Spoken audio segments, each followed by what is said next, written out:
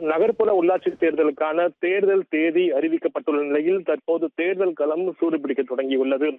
அரசியல் கட்சியினர் தங்களுடைய வேட்பாளர்களை அறிவித்து வருகின்றனர். இந்த நிலையில் இன்று காலை சேலம் மாநகராட்சியை பொறுத்தவரைக்கும் சேலம் மாநகராட்சி அறுபது கோட்டங்கள். இந்த அறுபது கோட்டங்களிலும் குறிப்பா பாமக சார்பில் வேட்பாளர் பட்டியலானது வெளியிடப்பட்டுள்ளது. அதனைத் தொடர்ந்து முதல் பட்டியலை மக்கள் நீதி மையத்தினுடைய தலைவர் கமல்ஹாசனும் வெளியிட்டுள்ளார். இந்த நிலையில் சேலத்தில் தற்போது இந்த திமுக சார்பில் அதனுடைய கூட்டணி கட்சிகளுடனுக்கான பேச்சுவார்த்தை அஹ், பங்கீடு அதாவது வார்டு பங்கீடு தொடர்பாக அமைச்சர் கே என் நேரு தலைமையில் சேலம் வீரபாண்டிய சேலம் கல்லர் மாளிகையில் இங்கு நடைபெற்றுக் கொண்டிருக்கிறது. இங்கு பொறுத்த வரைக்கும் கூட்டணி கட்சி நிர்வாகிகளும் அதே போல சேலம் மத்திய மாவட்ட செயலாளர் அதே போல சேலம் நாடாளுமன்ற எம்பி ஆகியோர் தலைமையில இந்த பேச்சுவார்த்தையானது இன்று காலை முதல் நடைபெற்று வருகிறது.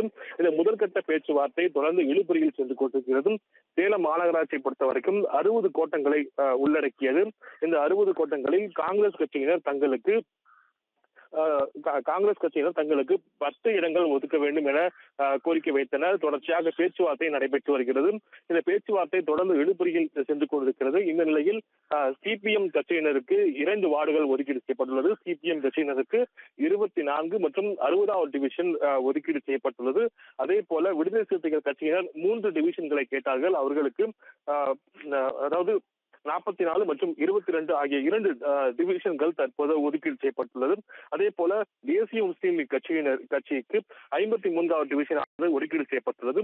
இந்த நிலையில் சிபிஐ கட்சியினர் தொடர்ந்து தொடர்ந்து மூன்று இடங்களை கேட்டாலும் ஆனால் திமுக தரப்பில் ஒரு இடம் மட்டுமே கொடுக்க முன்வந்ததால் தொடர்ந்து சிபிஐ மற்றும் காங்கிரஸ் கட்சியினருக்கான இந்த இடங்கள் ப- பங்கிடுவதில் தொடர்ந்து இழுபறியானது நீடித்துக் கொண்டிருக்கிறது.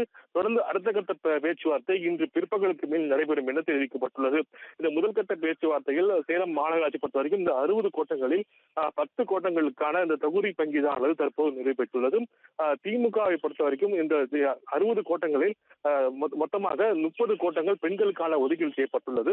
இதில் முதல்கட்ட இந்த பேச்சுவார்த்தையில் விடுதலை சிறுத்தைகள் சிபிஎம் மற்றும் தேசிய முஸ்லீம் லீக் ஆகியோருடனான இந்த கூட்டணி பேச்சுவார்த்தை தற்போது முடிவடைந்துள்ளது. காங்கிரஸ் மற்றும் சிபிஐ தொடர்ந்து இழுபறி நிலை தொடர்ந்து நீடித்து வருகிறது. Thank you.